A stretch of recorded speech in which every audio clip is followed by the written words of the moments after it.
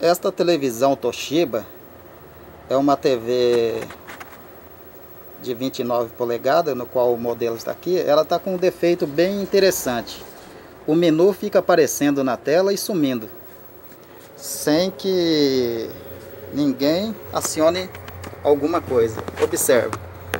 O menu aparece, depois some sozinho sem acionar as teclas, né? Olha lá, como apareceu lá agora, e assim fica o dia inteiro.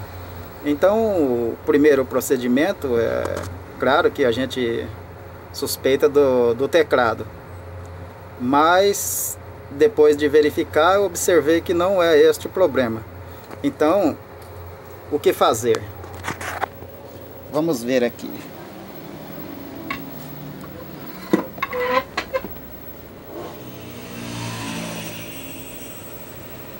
Este conector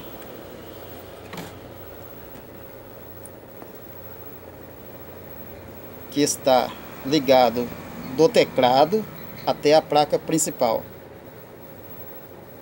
Ele passando por próximo a esses fios aqui da entrada de força, ele provoca o aparecimento do menu na tela. Então retiramos ele e passamos ele por cima da malha terra, como eu estou fazendo aqui, ó. Passei ele por cima da malha terra e vou voltar ele novamente na placa principal. Pronto, é só isso. Desta forma, o problema está resolvido.